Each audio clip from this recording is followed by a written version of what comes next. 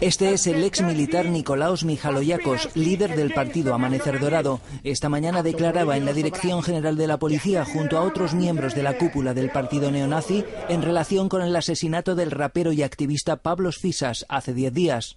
La Fiscalía les acusa de pertenencia a organización criminal y de participar en numerosos actos delictivos, atentados con bomba y agresiones físicas. Entre los arrestados está el portavoz del partido en el Parlamento y el secretario de la organización local a la que pertenecía el asesino confeso de Fisas.